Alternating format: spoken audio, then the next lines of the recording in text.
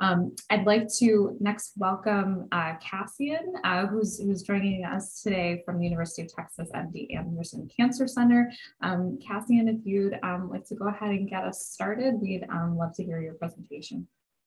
Uh, can you guys all see the screen, by the way? And you can hear me okay? Sorry, I had to put the ears on. There's a little bit of a ambient noise. And uh, um, I, I, know the title's changed a little bit, but uh, this is um, uh, a slide that uh, describes the topic of this particular discussion, um, which is really looking at another aspect of COVID immunity. Most people have been fixated on uh, neutralizing antibodies and serologic response. Um, and I think um, as a testament to the um, flexibility and agility of NIH, those probably an oxymoron, but I think in, in this particular case, it, it turned out uh, that we were able to um, repurpose our lab and the supplemental uh, funding provided by the NIH to uh, shift from uh, our pancreatic cancer work to COVID-19 work. Um, this is a busy slide, but I think I only want to point out two things here. One is that uh, the coronavirus family includes non-pathogenic viruses. Some of you uh, recognize these uh, this nomenclature, and then also the pathogenic coronaviruses, um, the SARS, uh, the MERS, and then the SARS-CoV-2, which we're discussing here.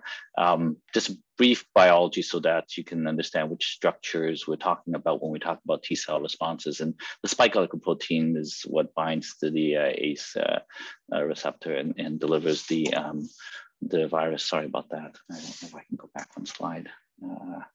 Kind of messed up there. There we go. Um, but then the the coronavirus obviously has RNA, uh, nucleocapsid, uh, envelope, um, and so we're going to talk about structural versus non-structural proteins. And most of the antibody response is directed against structural proteins like the spike glycoprotein and S protein or S response, which most um, IgM, IgA, IgG uh, serologic assays are, are, directed against. So this is, uh, again, I'm just going to ask you to focus on uh, three things here. One is uh, the antigen load in purple. Uh, hopefully, this is a successful uh, response in which the antigen load increases, induces both antibody and T cell responses, and then antigen load decreases. Now, obviously, in long COVID or in COVID that doesn't respond to this, oops, sorry, I did it again. Um, and uh, you're going to see uh, the antigen load persist and that uh, correlates with transmissibility. Um, what I'm focused on is this T cell response in the light blue here.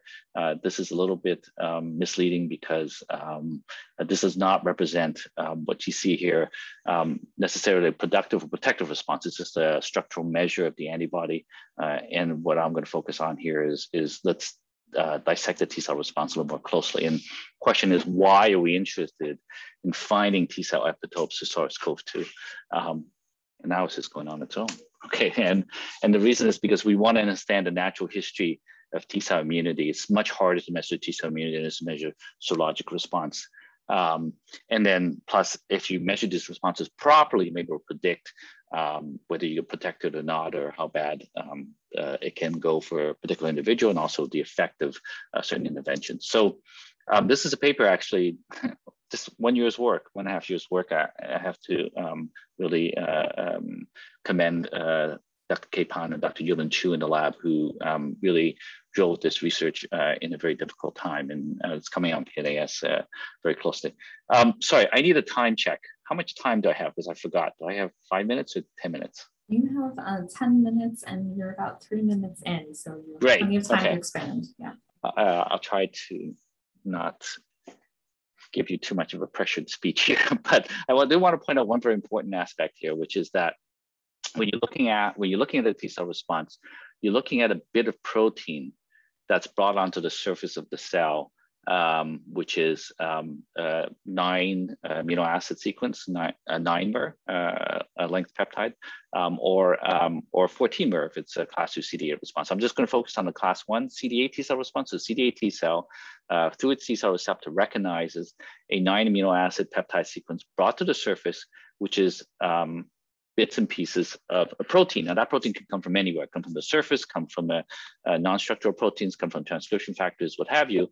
Um, so the T cell response is much broader than a potential antibody response. And, and the problem is that you can't predict what this is just by doing silico analysis. And I think that is the whole point of this discussion in the paper is that if you want to find out what that peptide is, you go where the money is. You loot off that peptide from the MHC of SARS-CoV-2 infected cells or expressing cells, and then you run it through a tandem mass spec. There's a bunch of algorithms that we then use to sort of prioritize the peptides uh, that we have. And now this is supposed to be a T cell with a T cell receptor. And what I'm showing here is that we not only we pull out the peptide, but we validate its immunogenicity, meaning that um, that peptide is not only processed and presented on the surface of a virus infected cell, um, but that you can induce a T cell response. And that T cell response comes from normal human peripheral blood um, mononuclear cells. That T cell response is sufficient to recognize um, an infected cell. So it has sufficient affinity to recognize that target and that peptide is presented with sufficient density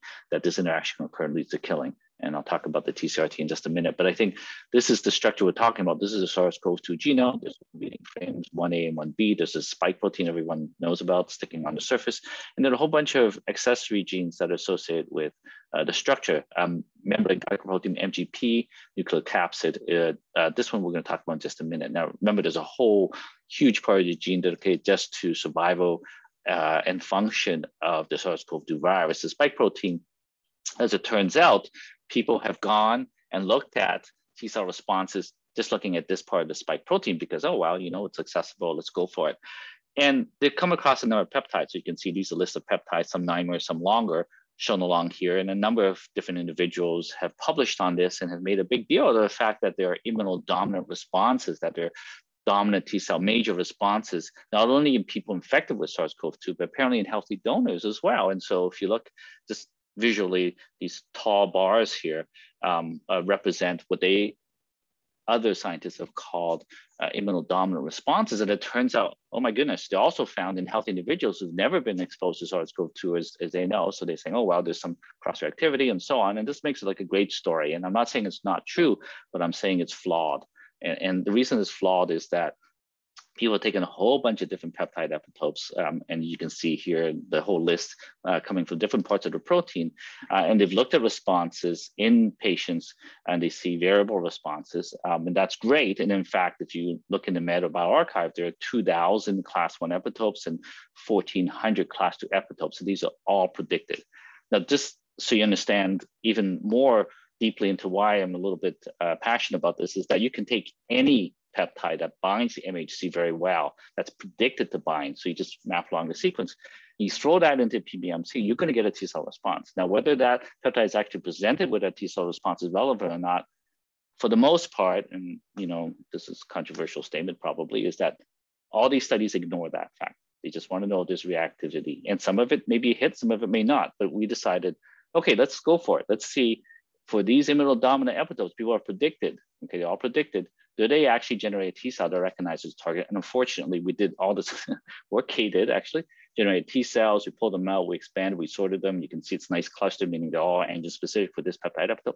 They do not recognize the uh, uh, SARS-CoV-2 expressing targets. So zero, flat, completely flat. You can see that right here. So not relevant as far as we're concerned from an imaging standpoint. So these are predicted, but they don't elicit a response recognizes T cell. What do we do instead? We, we, we, we went for the money. We went after the peptide, we did the mass spec analysis, we looked at all these genes. And in order to make this as effective as possible, we um, engineered uh, presenting cell to express these different parts of the SARS-CoV-2 um, and with different HLA alleles to be as broad as possible in the coverage. You can see we highlighted here non-structural protein, uh, membrane glycoprotein. Uh, we did the analysis um, we ran it against a database to make sure that these uh, genes actually are expressed. And so this is how we substituted what we used to use tumors now, but now we use the SARS-CoV-2 engineered cell. And then we ran through this protocol, as I explained to you earlier, we generated T cells against these peptide epitopes and then tested if these T cells do in fact uh, kill the engineered cell. And this is an example of a mass spec and you can deconvolute, you get a peptide sequence.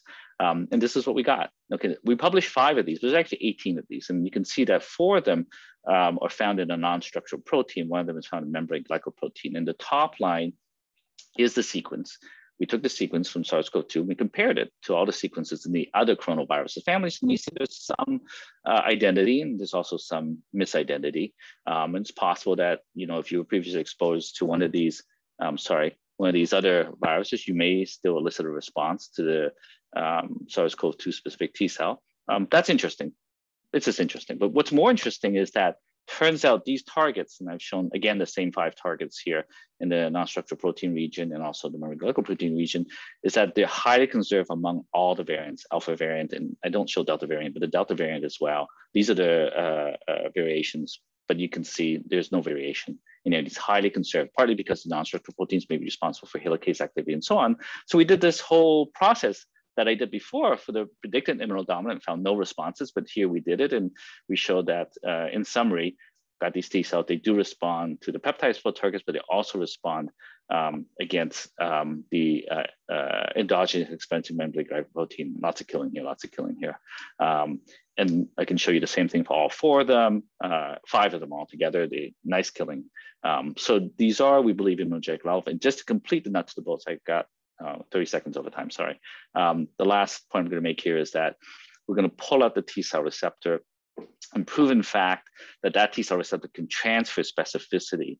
Um, so here we are cloning out T cell receptor, transfer specificity, non-specific T cells, just random peripheral lymphocyte, and also recognize, and we we do that, it's published, and just to prove from nuts to bolts that, you know, predicting does not lead to SARS-CoV-2 cloning, but in fact, what you need to do is do the elution, sorry, do the eluted peptide uh, some of them are predicted, of course, among the 4,000 that are predicted, but you have to go after the specific ones that are eluded. And we actually have a whole bunch now, not just against spike and we've got 14, but non-NSP uh, helicases.